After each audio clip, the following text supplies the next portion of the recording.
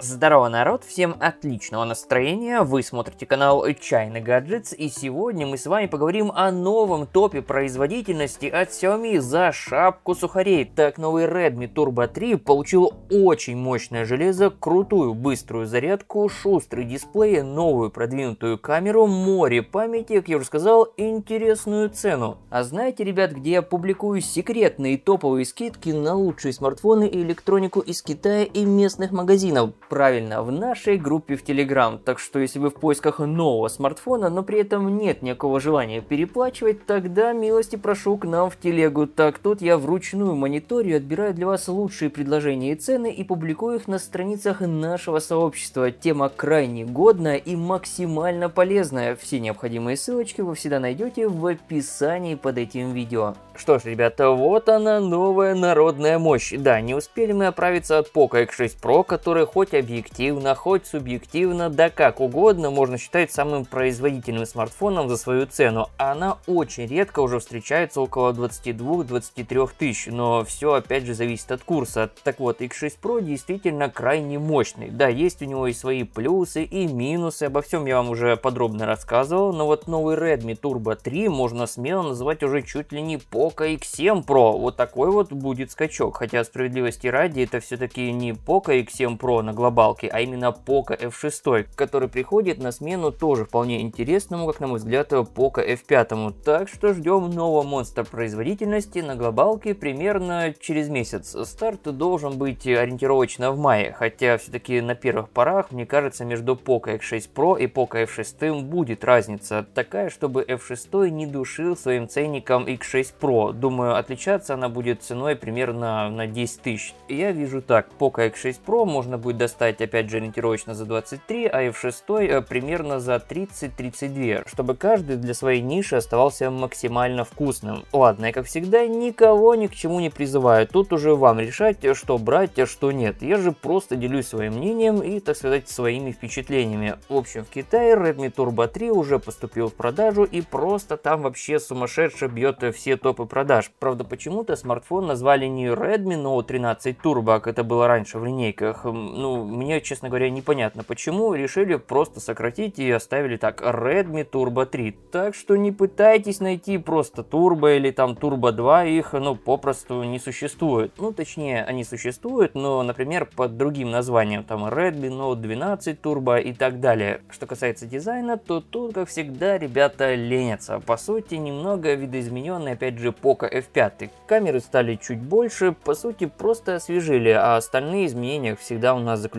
внутри. В общем, жду ваше мнение по поводу внешнего вида нашего сегодняшнего героя. Как вам он, ок или нет? Ну а я постараюсь максимально кратко и содержательно рассказать вам, что именно из себя представляет этот новый Redmi Turbo 3. Сердцем новенького турбо от Redmi стал свежий 8-ядерный 64-битный чип по имени Snapdragon 8S Gen 3. О данном чипе мы уже с вами беседовали, как я уже говорил ранее, он набирает около 1 миллиона 8 сотен тысяч очков, что дает неплохой прирост даже в сравнении с Dimensity 8300 Ultra из Poco X6 Pro. Но при этом цена смартфона будет примерно схожей, но учитываем, что это опять же будет версия для китайского рынка, которую будут потом шить на глобал палку. Ну, опять же, тут кому что больше нравится. Я лично для себя больших проблем так и не увидел. Так, имею на руках по долгу службы около десятка, да не, наверное, даже больше смартфонов для китайского рынка, как на прошивках глобальных, так и на китайских версиях. И никаких проблем с 4G я не испытывал. Хотя, опять же, живу я в маленьком провинциальном городке с населением в 65 тысяч человек, и интернет у нас тут по умолчанию не самый топовый. Ну да ладно, запал комментаторов, не державших подобные смартфоны даже в руках мне все равно не остановить, поэтому каждый решает для себя. В общем итоге должна выйти машинка с реальным высокопроизводительным железом. Что до оперативки, то ее объем составит от 8 до 16 гигабайт, накопитель же будет от 256 гигов до 1